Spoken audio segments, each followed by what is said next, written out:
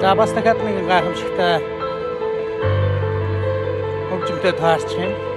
Үнэхээр бас сэтгэл маань хөдөлдөг Ханс Зиммер гэж агуу их хөгжмийн зохиол. Түүний Interstellar киноны а хөгжмийн хэсэг явж байгаа л да. Тэгээд яг ямар хэсэг вэ гэхээр stay гэж хэсэг. Stay үлдээч. Үлдээх гэдэг баг. Тэр хэсгийг дарж байна. Хамгийн хүнд хэсгийг энэ залуу тоглож байл та төгөлдөр. Тэгээд аа Ханс Зиммерт одоо үнэхээр бас баярлалаа гэж хэлэх болохгүй. Яг тэгвэл би энэ киног үзээд аа энэ киноноос харнах Play Calls ертөнцийн физикийн үзэгдлүүдийг гайхан биширч явдгийн хувьд би тэгээд энэ киног үзээд энэ аяыг сонсоод биширц өөрөө ихгүй тэгээ хаанс цэмэр гэж агуу хөгжмөс барьж баярлалаа. Stay. Yeah.